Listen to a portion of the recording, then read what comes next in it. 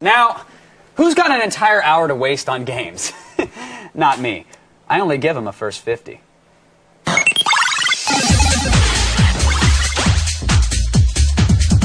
Yes, strap on the stilettos and kick on the makeup. Our favorite plumber is whoring himself around the diamond this Oh, week in Super ever. Mario Baseball. There it is. Uh, now, first of all, the intro movie is fantastic. Oh, it's beautiful, It's, man. it's nice to see that they, they can't do in-game uh, CGs anymore, uh, cinemas over at Nintendo. yeah, but FMV making a comeback. it's it's actually no. I really like the intro movie. The thing that's the funny though is is the song itself, where they're they're chanting "Let's play the baseball game." Those, those are the entire lyrics to the song. That's it. There's no reason to hand that over to the localization team because it's already in English. None necessary. It appeals to me as an American. See, so already the game is, is in your favor, right? You're already psyched to play it. You want to play the baseball game, right? I do. Let's so they, play the baseball game. They dug. I mean, in order to make full teams, they kind of had to dig deep into the old Mario bag to pull out some characters, which is a little disappointing. But Kind of exciting to play as Donkey Kong, not as exciting to play as a Goomba. Exactly. Although, although he is a power hitter, which is, is odd. Uh, it's a baseball game, and the thing is, there's not a lot of depth, uh, unfortunately. Uh, the one thing that is very involved is the team selection. Uh, people are, you know, listed by their speed, technique, their power, or if they're all around balanced. And then once you select your team, you have to actually assign them field positions and hope that the characters have good chemistry with each other. Yeah, you want them to get along. Exactly. And, and, and like if you have a bad chemistry team, like they will be more apt to drop the ball or not make good plays.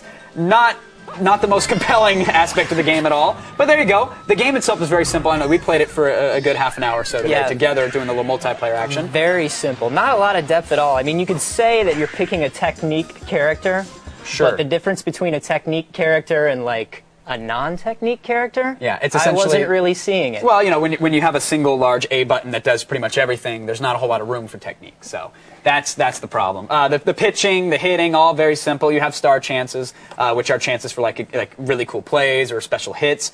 Uh, but you know, to stretch the value, because I know under, you might be a little underwhelmed by this point, they've added some mini games. Oh, excellent. Yeah, Yeah. Let's see what they shoehorned in today.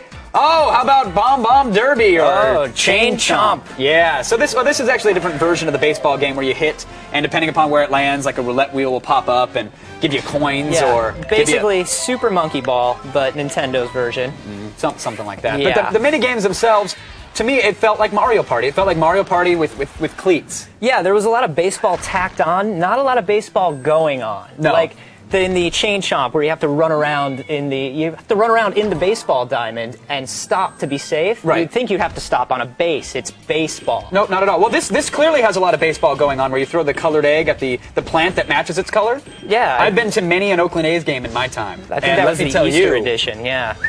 Yeah, barrel bat. You know, I think I think we've seen enough of the, the superstar baseball. Here's the thing, though, that that it was still compelling to an extent.